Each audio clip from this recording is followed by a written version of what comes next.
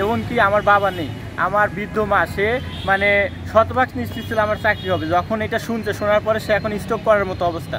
আমার খুবই আশা ছিল যে আমি আর চাকরিটা হবে, আমি হালাল পথে আমার বৃদ্ধ মাটাকে নিয়ে আমি যতদিন বেঁচে থাকি আমার মায়ের সেবা করব, মাটাকে নিয়ে আমি বৈধ পথে থাকব। এখন আমার মার্ক বেশি থাকা সত্ত্বেও এখন আমার মা, আমার পরিবার সবাই মানে মৃত্যু পথযাত্রী এবং আমার যে অবস্থা, আমি যে কোনো সময় সুসাইডও করতে পারি। আমি স্কুল নিবন্ধনে চল্লিশটা স্কুলে প্রতিষ্ঠানে চয়েস দিয়েছিলাম। কিন্তু এখানে দেখা যাচ্ছে যে আমার থেকে যারা মেরিট এবং সিরিয়ালে অনেক পিছনে আছে, তাদের নিয়োগ দিয়েছে দশটি প্রতিষ্ঠানে। চল্লিশটার ভিতর আমার দশটি প্রতিষ্ঠানে ওইরকম হয়েছে। দশটি প্রতিষ্ঠানে আমার নিয়োগ হয়, অথচ আমার একটা প্রতিষ্ঠানে নিয়োগ হলো না। আমার থেকে যারা সিরিয়ালে অনেক পিছনে আছে, আমার মেরিট হচ্ছে আপনার একুশ হাজার চারশো এক এবং আমার সিরিয়াল হচ্ছে বাইশ হাজার দুইশো আটত্রিশ। অথচ দেখেন, এখানে নিয়োগ হয়েছে মেরিট ছাব্বিশ হাজার তিনশো বাহান্ন। কোথায় বাইশ হাজার কোথায় ছাব্বিশ হাজার? এমনকি আছে চৌত্রিশ হাজার মেরিট চাকরি হয়েছে সিরিয়াল দেখেন। পঁয়ত্রিশ হাজার সিরিয়ালও চাকরি হয়েছে অত আমার সিরিয়াল বাইশ হাজার। অথচ সেখানে আমার সিরিয়াল হয় না তো দশটি প্রতিষ্ঠানে আমার চাকরি হওয়ার কথা ছিল সেখানে একটি প্রতিষ্ঠানে সুপারিশ হয় নাই। আসলে আসলে প্রতিষ্ঠানে সুপারিশ পান নাই? না আমি কোনো চল্লিশটা প্রতিষ্ঠানের ভিতরে একটা প্রতিষ্ঠানে আপনার থেকেও মেরিট লিস্টে পিছিয়ে থাকে তারা কীভাবে সুপারিশ পেল? সেটাই তো এখন তো আমরাই তো সেটা বলতে পারতেছি না আসলে কেন কীভাবে এটা হলো এজন্য আসলে আমরা সেই এক এক প্রথম, তারপরে দ্বিতীয়, তৃতীয়, চতুর্থ গণবিজ্ঞপ্তি ভাবছিলাম যে বেকার বান্ধব গণবিজ্ঞপ্তি যে হয়তো গত তিনবার চাকরি হয় না, এবার ইনশাল্লাহ হবে আর কি এই আশা নিয়ে, স্বপ্ন নিয়ে আমরা অ্যাপ্লাই করেছি। কিন্তু এত হতাশ এবং মর্মাহত যে আসলে আমরা কথাই বলতে পারতেছি না। মানে এত মানে বুকের যে চাপা কষ্ট, আমরা কাউরে বুঝাইতে পারতেছি না। বাড়িও ফিরে যেতে পারতেছি না। সবাই মানে অভিশাপ দিয়ে যে চাকরি হয় না, বয়স শেষ, আপনারা কি করবেন? মানে আমাদের আসলে দেখার কোনো কেউ নাই আর কি, এত দুঃখ দুর্দশার ভিতর আছি। এখন আমাদের যোগ্যতা থাকা সত্ত্বেও কেন চাকরি দিল না? আমরা এর প্রতিকার চাই এবং এনটিআরসির চেয়ারম্যান মহোদয় আছে এবং যারা সংশ্লিষ্ট কর্মকর্তা আছে, শিক্ষা, মাননীয় শিক্ষামন্ত্রী আছে এবং প্রধানমন্ত্রী আছে, তারা খুবই বেকার বান্ধব এবং কাজ করতেছেন। আমরা চাই যে আমাদের যে সমস্যাগুলি হয়েছে, আমাদের যোগ্যতা থাকা সত্ত্বেও আমাদের নিয়োগ না নিয়ে অযোগ্যতার নিয়োগ দিয়েছে আমাদের। সহকারী মৌলভী পদে চোদ্দতম ব্যাচ। আমার হচ্ছে ষাট মার্ক আছে।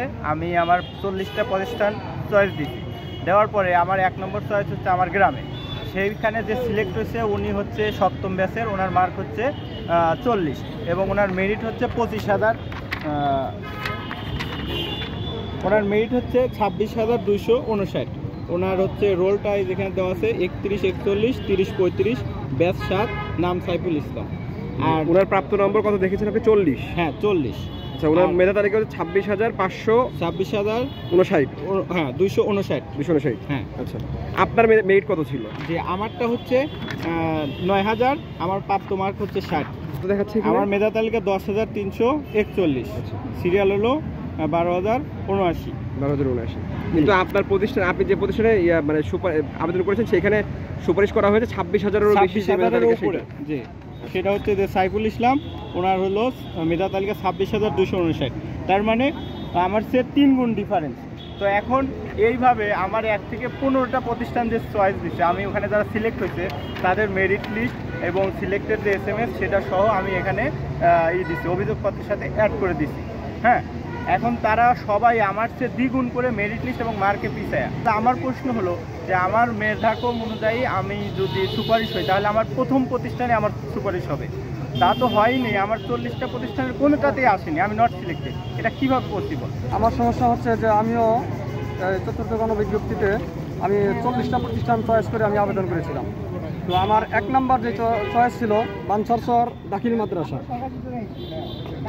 বানসারসর দাখিল মাদ্রাসা থেকে চল্লিশটা চয়েস ছিল আমার প্রথম চয়েস এটা। তো আমার মার্ক হলো ষাট। মেরিট সিরিয়াল হচ্ছে আমার মেরিট হচ্ছে দশ হাজার তিনশো একচল্লিশ। দশ হাজার তিনশো একচল্লিশ। আর এই চল্লিশটার মধ্যে কোনো এক জায়গাতেই আমি সিলেক্টেড হই নাই। বরঞ্চ যাকে এক নাম্বার প্রতিষ্ঠানে সিলেক্টেড করা হয়েছে এটাও বাঞ্চার দাখিল মাদ্রাসা। এখানে যাকে সিলেক্টেড করা হয়েছে এর মেরিট স্কোর হলো এর মার্ক হলো পঞ্চান্ন আর মেরিট হচ্ছে ষোলো হাজার তিনশো চৌত্রিশ। এবং কি আমার ওই চল্লিশটা প্রতিষ্ঠানের মধ্যে চল্লিশটা প্রতিষ্ঠানের মধ্যে আরও একটা আমার মানে চয়েস ছিল যে টাপুরচার নাসিরিয়া দাখিল মাদ্রাসা। সেখানে আমার ষাট মার্ক হয়েও আমার সেখানে সিলেক্টেড করা হয় নাই। আর যাকে সিলেক্টেড করা হয়েছে তিনি হচ্ছেন শুধুমাত্র তেতাল্লিশ মার্ক এবং তার মেরিট স্কোর হলো মেরিট সিরিয়াল হচ্ছে আঠাশ হাজার তিনশো সত্তর।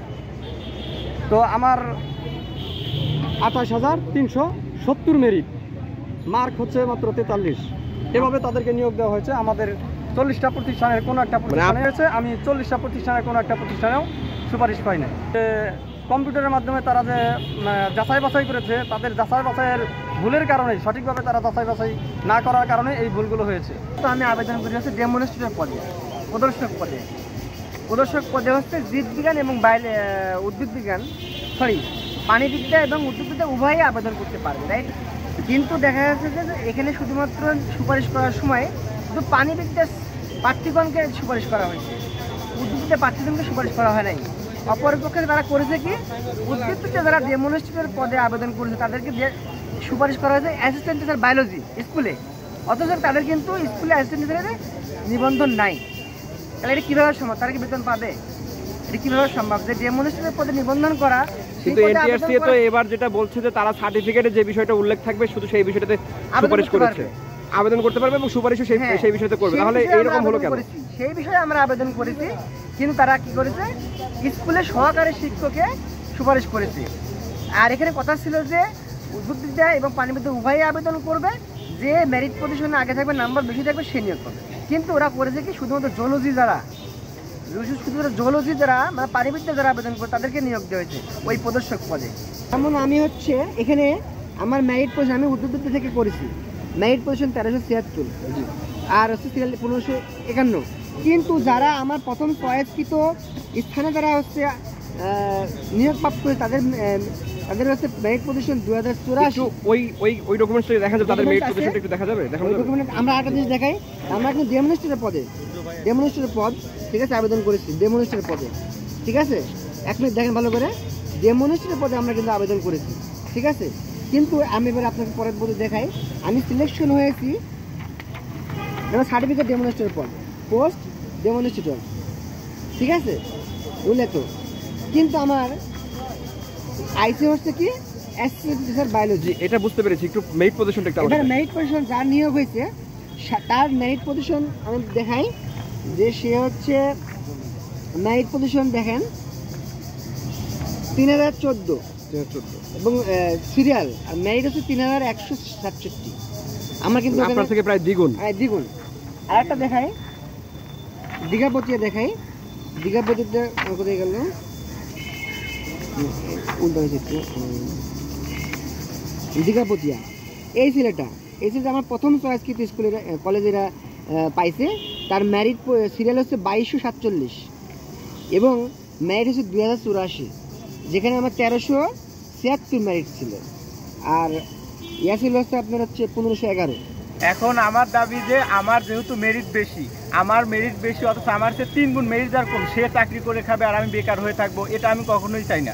কালকে থেকে যতক্ষণ পর্যন্ত চেয়ারম্যান এনটিসিআর চেয়ারম্যান শিক্ষামন্ত্রী এবং সংশ্লিষ্ট সচিব, কর্মকর্তা যারা আছে, তারা দ্রুত আমাকে, আমার যে চয়েসের প্রতিষ্ঠান, সেখানে আমার মেরিট অনুযায়ী আমাকে সুপারিশ করবে। যতক্ষণ তারা আমাকে সুপারিশ না করবে, আমি এখানে এসে ততক্ষণ পর্যন্ত আমরণ অনশন করব। আমি এখান থেকে আমার চাকরি, আমি ভিক্ষা চাচ্ছি না। আমার মেধা, আমার মেধাক্রম অনুযায়ী আমি যেখানে সিলেক্ট হব, আমাকে সেখানে সিলেক্ট করে দিলে তারপর আমি এখান থেকে উঠবো। তাছাড়া আমি এখান থেকে আমার অনশন করব, এখান থেকে যাব না।